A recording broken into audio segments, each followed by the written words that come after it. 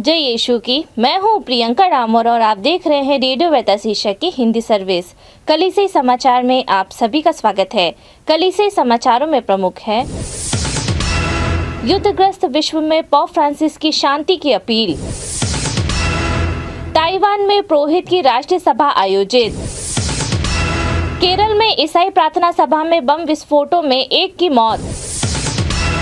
Church ने कर्नाटक में हिजाब प्रतिबंध में ढील का स्वागत किया। कैथोलिक स्कूल छात्रों को शांति निर्माता के रूप में प्रशिक्षित कर रहा है। कुएँ में मिला पुरोहित का शव धर्म प्रांत सदमे में। चर्च ने प्रार्थना सभा के दौरान विस्फोटों की निंदा की। अब जानते समाचार विस्तार से।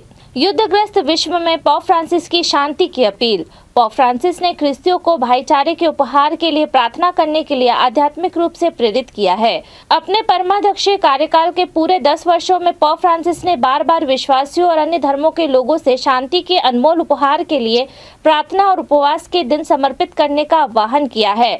उपवास और प्रार्थना एक संयोजन जहाँ एक दूसरे को पारस्परिक रूप से भोजन देता है।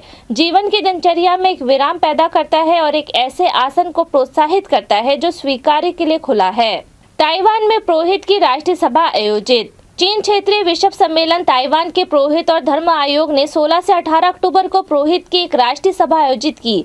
ताइचुंग धर्म प्रांत ने जियान गुआन सांस्कृतिक यात्रा अवकाश पार्क में कार्यक्रम का आयोजन किया। कार्यक्रम में सात धर्म प्रांतों के सत्तर से अधिक पुरोहितों ने भाग लिया। ताइचुंग के बिशप मार्टिन सियुआन वेन ने पुरोहितों का स्वागत किया और उनके पास्टोरल उत्साह और प्रतिबद्धता के लिए उन्हें धन्यवाद दिया। पुरोहितों की राष्ट्रीय सभा पुरोहित के बीच सहभागिता का समय है, धर्माध्यक्ष ने कहा। यह आध्यात्मिक साझेदारी और कलीसिया और लोगों की सेवा में अपने पास्टोरल उत्साह को नवीनीकृत करने का भी एक अवसर है। केरल में ईसाई प्रार्थना सभा में बम विस्फोट में एक की मौत। केरल में एक ईसाई प्रार्थना सभा के दौरान कम से कम तीन बम विस्फोट हुए, जिसमें एक व्यक्ति की मौत हो गई और 36 अन्य लोग घायल हो गए। कोची के बंदरगाह शहर के पास कला मासेरी के एक सम्मेलन केंद्र में 2000 से अधिक लोग तीन दिवसीय यहोवा के साक्षी के प्रार्थना सभा में भाग ले रहे थे, जब विस्फोट से भीड़ में विस्फोट हो गया। केरल के पुलिस महानिदेशक दरवेश साहब ने संवाददाताओं से कहा, सुबह लगभग 9:40 पे जमरा इंटरनेशनल कन्वेंशन सेंटर में एक विस्फोट हुआ जिसमें एक व्यक्ति की मौत हो गई और 36 लोगों का इलाज चल रहा है। प्रेस ट्रस्ट ऑफ़ इंडिया समाचार एजेंसी ने बताया कि कन्वेंशन सेंटर के अंदर कम से कम तीन विस्फोट हुए थे। चर्च ने कर्नाटक में हिजाब प्रतिबंध में ढील का स्वागत किया।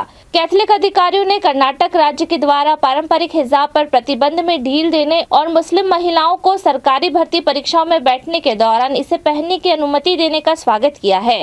कर्नाटक कैथोलिक बिशप काउंसिल के प्रवक्ता फादर फास्टिन लुका लोबो ने कहा, ऐसे किसी प्रतिबंध की कोई आवश्यकता नहीं थी और हमें खुशी है की वर्तमान सरकार ने इसमें ढील देने के लिए कदम उठाए हैं।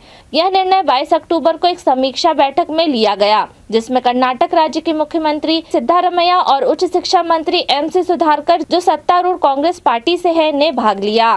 कैथलिक स्कूल छात्रों को शांति निर्माता के रूप में प्रशिक्षित कर रहा है। हिंदू बहुलक में बढ़ती असहिष्णुता की खबरों के बीच तमिलनाडु में कैथलिक स्कूल ने अंतर धार्मिक सद्भाव को बढ़ावा देने के लिए छात्रों को प्रशिक्षित करने के लिए कार्यक्रम शुरू किया है। दक्षिण तमिलनाडु, इरोड ज़िले के Saint Joseph higher secondary school के प्रिंसिपल फादर मार्क मोनफोर्ट ने कहा, इसका उद्देश्य छात्रों को शांति निर्माता के रूप में प्रशिक्षित करना है, ताकि वे अपने दोस्तों, परिवारों और पड़ोस के बीच सद्भाव का संदेश फैला सके। ज़िले के दो कैथलिक स्कूलों ने सेंट जोसेफ स्कूल से हाथ मिलाया है। मॉनफोर्ट ने कहा, पहले ही ईसाई, हिंदू और मुस्लिम पृष्ठभूमि के 30 छात्रों को प्रशिक्षित किया जा चुका है। प्रशिक्षित छात्रों ने 25 अक्टूबर को सेंट जोसेफ स्कूल में शांति निर्माता के रूप में युवाओं को सशक्त बनाने नामक कार्यक्रम में 500 छात्रों की एक सभा में भाग लिया। कुएँ में मिला पुरोहित का शव धर्म प्रांत सदमे में। झारखंड में गुमला धर्म प्रांत अपने पुरोहित की रहस्यमय मौत पर शोक मना रहा है। चैनपुर के पल्ली पुरोहित फादर रजत एक्का का शव 27 अक्टूबर की सुबह पल्ली परिसर के कुएँ में मिला था। डायसेशन के जनसंपर्क अधिकारी फादर साइपन कुल्लू ने 28 अक्टूबर को बताया, यह बहुत दुर्भाग्यपूर्ण है। फादर कुल्लू ने कहा, फादर इक्का जिनकी उम्र साठ वर्ष के आसपास थी, एक गतिशील पुरोहित थे, जिन्होंने धर्म प्रांत में हमारे डायसेशन के डीन के रूप में कार्य किया था। धर्म प्रांत के अधिकारी ने किसी भी तरह की गड़बड़ी से इनकार करते हुए कहा कि उन्हें संदेह नहीं है कि फादर इक्का की हत्या की गई है। पीआरओ ने कहा, वरिष्ठ पुरोहित शायद गलती से कुएँ में गिर गए होंगे। चर्च ने प्रार्थना सभा के दौरान विस्फोटों की निंदा की। सिरोमालावार चर्च ने प्रभु की सभा की प्रार्थना सभा के दौरान सिलसिलेवार विस्फोट पर दुख व्यक्त किया है, जिनमें 29 अक्टूबर को केरल में दो लोगों की मौत हो गई और 50 से अधिक लोग घायल हो गए। केरल स्थित चर्च के मीडिया आयोग का कहना है कि यह घटना अत्यधिक निंदनीय है, क्योंकि इससे दर्द और सदमा पहुँचा है। इसमें मांग की गई है कि संघीय और राज्य एजेंसियाँ द्वारा निष्पक्ष ईमानदारी और कुशल जाँच के माध्यम से दोषियों को न्याय के कटघरे में लाया जाए। केरल के वाणिज्यिक राजधानी कोची के पास कलामेसेरी में ईसाई समूह के कन्वेंशन सेंटर में तीन विस्फोट हुए। इसी के साथ कलिसे समाचार समाप्त हुए। अगली बार फिर मुलाकात होगी। नई खबरों के साथ नमस्कार। रेडियो वेरितास एशिया आपके लिए लेकर आए हैं RBA mobile app. RBA mobile app पर हमारे विभिन्न प्रकार के कार्यक्रमों का लाभ लें। हमसे जुड़े और एशियाई ईसाइत की आवाज़ का हिस्सा बने। आज ही ऐप स्टोर एवं प्ले स्टोर से आरबीए मोबाइल ऐप डाउनलोड करें।